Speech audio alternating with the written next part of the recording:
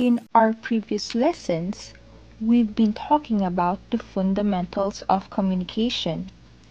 Now, you might be thinking that communication is not really that essential in the workplace. However, the reality is that without it, the workplace will not thrive. So, why do we need effective communication in the workplace? Effective communication is necessary in a workplace because it ensures unity. Good communication creates a strong foundation in building relationships and uniting team members. You know what they say about communication being the key to a healthy relationship?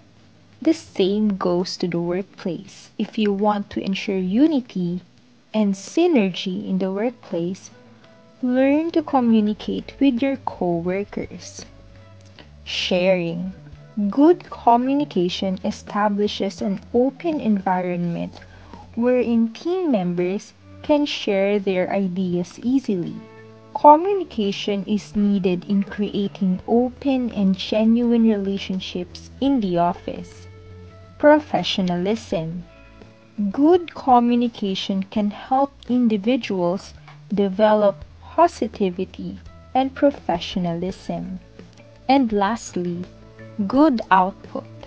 A team with good communication produces good outputs. Because of communication, unity, sharing of ideas, and professionalism take place in the workplace. It leads to better outputs